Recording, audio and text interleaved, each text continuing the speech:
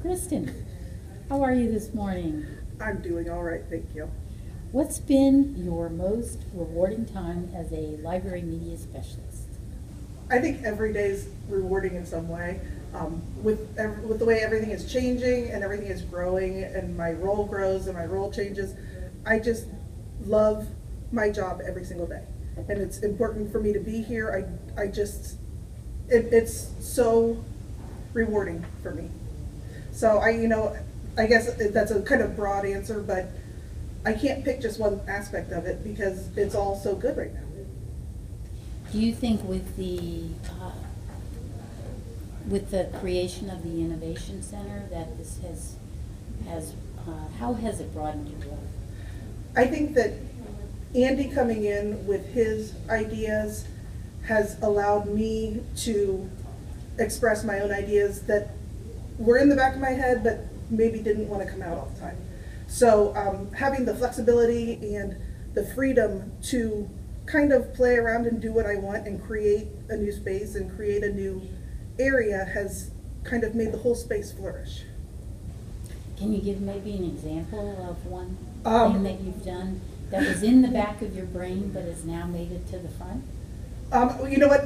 Crazy as it is, just even flexible furniture and having flexible everything movable just ma- opens up the space to so many more um, experiences that can take place in here.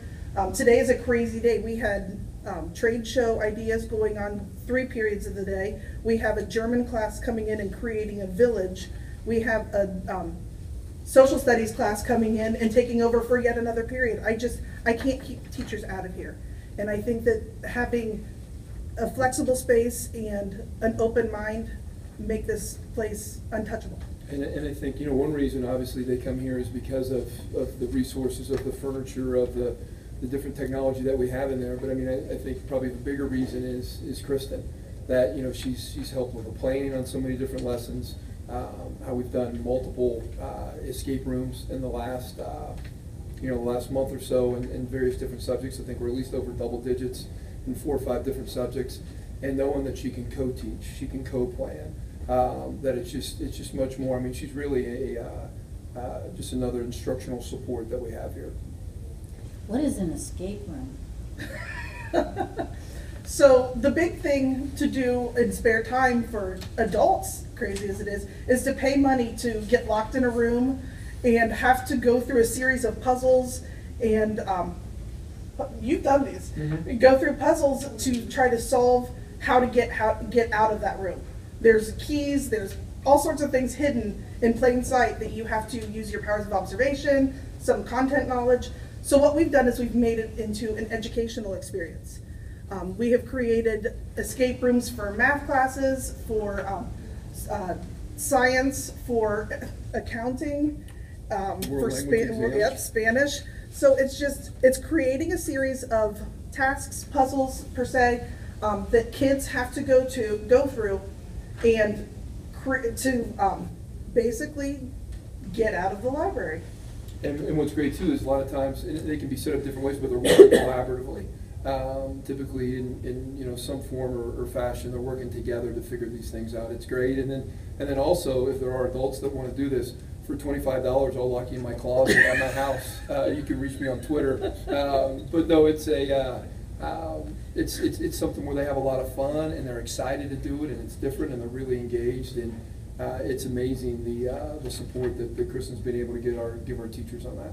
And then it opens up a communication between me and that teacher so that maybe next time they're trying to come up with an idea for a, a project or um, a lesson that they'll think, oh, hey, I should go run some ideas past Kristen, or maybe she has some a thought.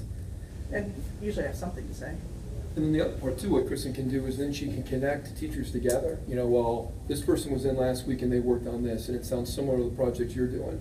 You know, maybe you could come in here and talk to them, or you could see this. So she does a lot of a lot of that as well. So she's even having more teachers collaborate than just between her and the teacher.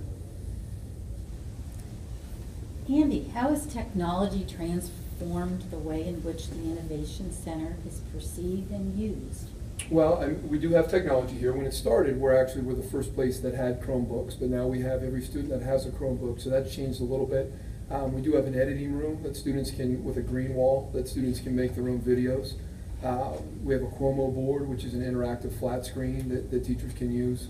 Um, so we definitely have the technology here, but once again, um, you know, it's a large part that, that, that Kristen knows how to use all the equipment. You know, she's a, a resource there as well. Describe an aha moment for a student that you feel you contributed to, and either one of you may participate in that. Well, I can tell you, one of the, my favorite parts of my job, but one of my least favorite parts of the job is matching kids up with books. Because there's nothing worse than having a kid come in and say, I need a book for English class, I hate reading. And I hear that sometimes. So it's, it's, I, I take it as a challenge. So I'm gonna find you something and you're gonna like it. And sometimes it works and sometimes it doesn't.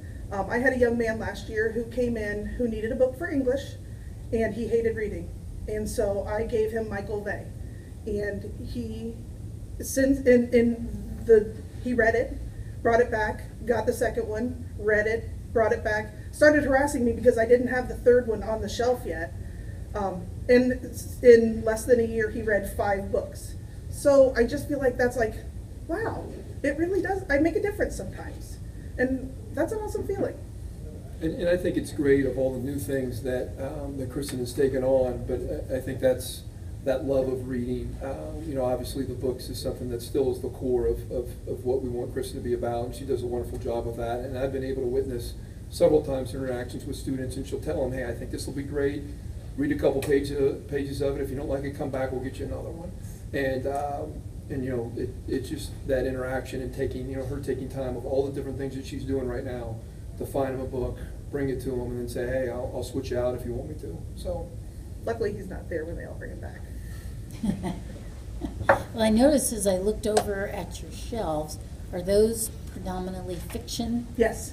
Uh, my collection is mostly fiction. That's what's mostly, that's heavily used. Um, nonfiction, we have some books that are used, not a lot. Um, kids are not interested in using books and they would rather use the internet. So if my budget is limited, I'm going to give them what they want and what I think they need at that time. Um, because we can find stuff online. And I, you know what, I use my resources too. If we need books and we don't have them here, then I reach out to my local library, the community library here in town. Wonderful resources. You know what, I've got to be a good customer if I'm going to sell it to my kids, so it's important. So, uh, if the students have a research project, uh, what types of resources do they use?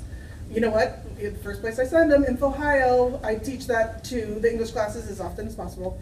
Um, it's, sometimes it's a struggle getting them to understand, just understand obviously the difference between databases and Google.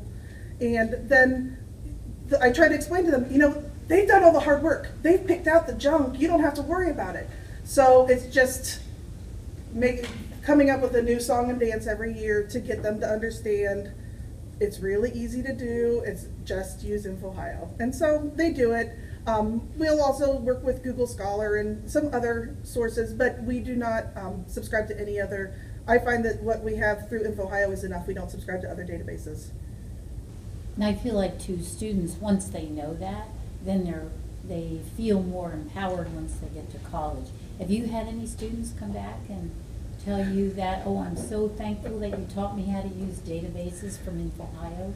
Always, always. And you know what? It's so funny when I get an email. Uh, My, I had to do a research page and I knew what to do. I knew where to go. I actually had a student who emailed me to say that they were still using InfoHio some because the password and username didn't change. So they were using the resources that they had at their, um, at their fingertips. So that kind of makes me giggle. How about you as a principal, do you have access, you use EBSCO and Mhm. the databases for your research and things like that, so as a professional, I think it's a really good resource.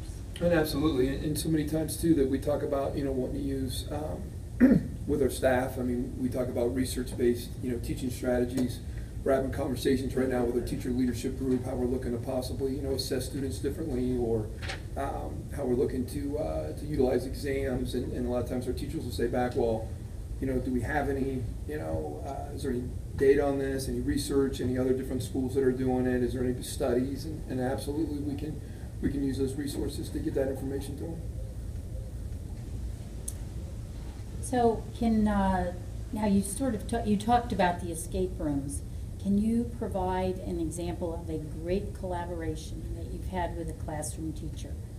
And what kinds of lessons did you learn from it? Um, well, the escape room is definitely the biggest. I also worked with a teacher recently, um, who was working in, uh, it's an English teacher, and she just read Hamlet with her tenth graders.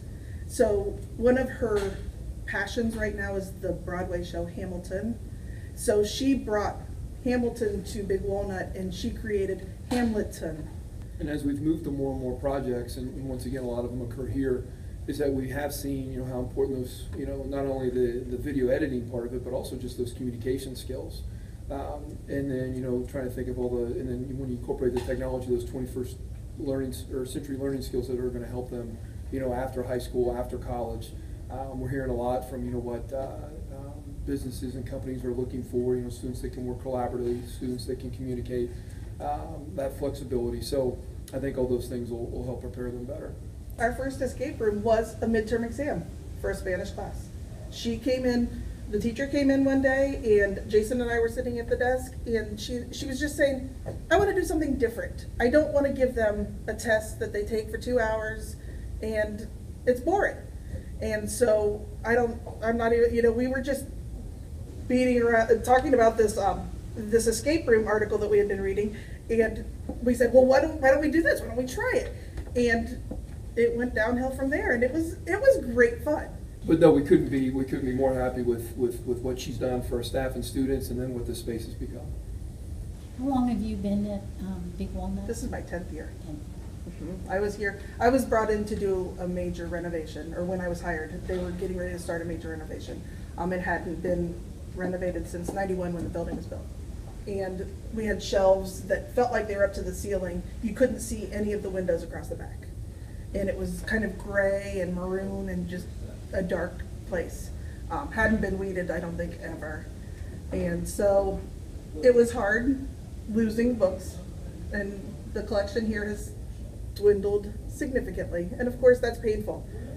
But it is for the best, and I know that. And so it's it's just I have my moments of solid silence where I just say goodbye and then I move forward because that's all we can do. It's, it's hard for librarians sometimes to give that up, isn't it? Absolutely. That book culture, Uh, you know- particularly the nonfiction Uh, side. yeah. I wear heavy on memoirs because they still, they still use those. Um, and really not a whole lot else. Cookbooks, but that's because of me. I bring in the stuff that I don't want at home. Or else I bring them in here and I store them here. Well, thank you very much for being part of our first uh, on-air. And um, we'll look forward to talking to you more on Tuesday. Thank Thank you.